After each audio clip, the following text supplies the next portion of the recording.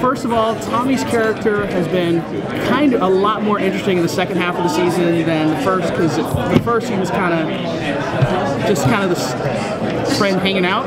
Yeah. Now it feels like your character has more of a purpose and is involved in the storyline. How, how have you taken that as far as how you play the character, your excitement about the character? I mean, it's it, it's it's definitely been you know the stuff that they've given me to play in the last you know since episode 12 on forward has been really really fun. And I've always loved what the character was, but you're right. Like I mean, now that it's not such a passive role, it's it's a lot you know it's a lot more fun to play when you have all that stuff to be able to do.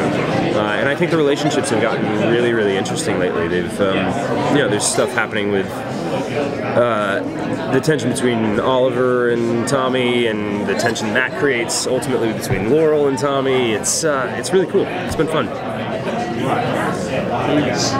Um, like when I first saw it, I was like, I noticed your name was Merlyn. Last name is Merlyn. Mm-hmm. Are you Merlyn? Uh, well, I mean, Yeah. Can you reveal anything about that? I can say that uh, in the next few episodes, uh, Tommy comes into the Merlyn fold more. There's going to be, because of what's happened and because of the way that he's reacted to finding out about Oliver, uh, it sort of comes to a head and he uh, becomes much closer with his father. That was my next question about the Dark Archer because he was about to show you like right before he gets knocked down or something. I was like, show him the closet. I will say that if um, he was willing to show him once, no reason to think he might not show him again. but that puts you right in the middle, though. That's kind of it's an interesting place to be. Okay, that's what there's no question in there. I agree. Okay, how about this? How's it like working with John Barrowman? He's awesome.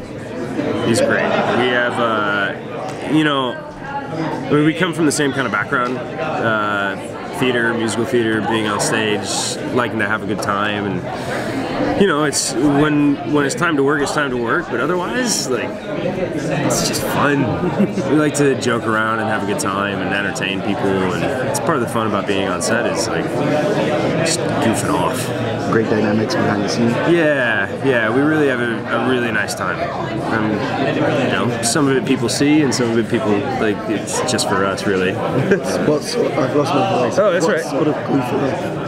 Oh, like uh, so the huge sequence in uh, in episode 16 where we're like, you know, whenever when all the shit goes down at the uh, at the ceremony. Oh, I can't say shit. No, I'm just oh, sorry.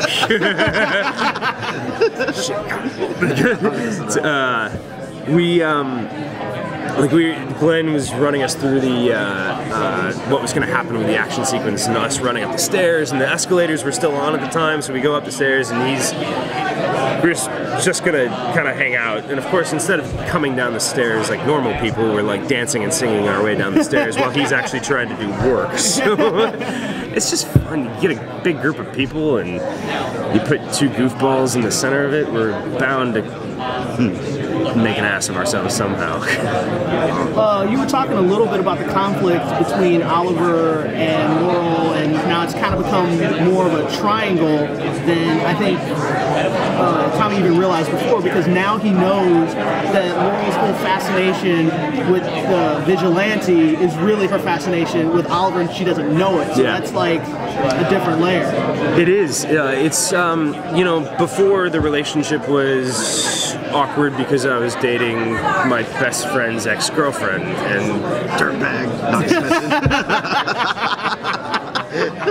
I didn't write it.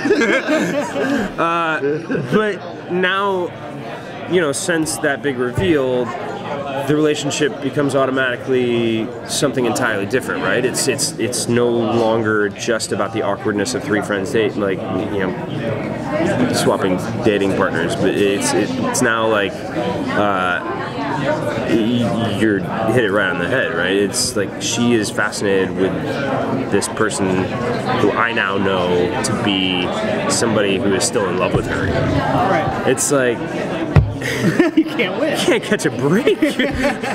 Come on. Uh, and it does. You're going to see like much more of that in the next few episodes. Uh, that stuff really coming to uh, a big head um, because it can't exist the way it does right now. And it looks like Oliver is now kind of asking her out to coffee or something. And I'm like, oh, Asshole. She's mine now. Seriously. You said you were okay with it and now you want to have dinner? right. Great. Is there a particular upcoming episode that stay tuned for? Episode 20. Episode 20, I'm really, really excited for. Um, it's uh, it's just some really, really great stuff. Uh, I mean, even this week's episode is wonderful. I, it, it seems like every time I see a script and I'm like, oh, this is gonna be gonna be our best episode, and they just keep getting better and better. And I, I know uh, episode 19, you know, you start to see that whole uh, connection between uh, Tommy and his father. Uh, and 20 just has some really, I can't give anything away about it. I wish that I could, but uh, you know that the, the triangle that we were talking about is uh, all of that stuff is gonna really Explode. explode uh, in episode 20. I'll spoil that, even though I didn't spoil anything. So going into season two, since you guys already know you got a pickup, if you could be in the writer's room and say, this is what I want to happen to my character, what would that be? Don't even know. I mean, you know, one of the one of the coolest things has been. I'm sure that I had one idea of what I would, where I would be at episode, you know, shooting episode 22 and what the character would be. But every script that I end up getting is a complete surprise to me, uh, and so I don't I don't think that I could make a like projection as to what is to come. I know they have some really exciting stuff planned for season two. Uh, that at least you know they're still pitching to the studio and the network that to go. Uh, I just don't know. That's a total cop out answer. I'm sorry. I wish that I could. I'm, I'm yeah. I kind of, I kind of came in late on Yeah, this. no I worries, man. late. Sorry.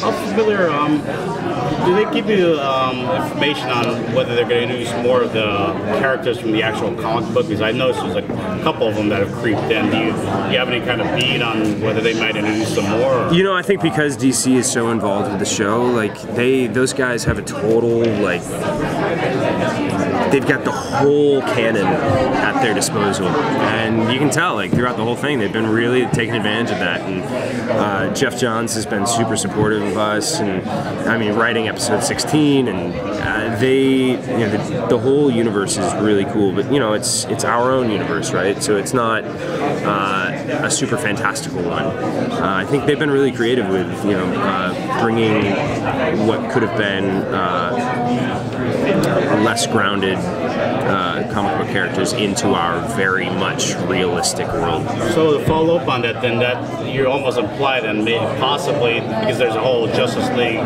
rumor of the movie being made, and the Green Green Arrow obviously is part of that. Yeah. The Justice League. Is there a possibility that you guys might somehow get in the movie, or is that? Oh, I don't. I have. I have no idea about that. That's. I think you know, separate entity Okay. from us. Yeah. Any other projects you're working on? Uh, Tell us about it. Yeah, I'm. Uh, I'm going to be doing a movie with Elizabeth Banks coming up uh, here pretty soon, uh, and uh, I'm doing some Shakespeare in the Park in New York this summer. I'm going to get back on stage a bit, so I'm very excited. Yeah.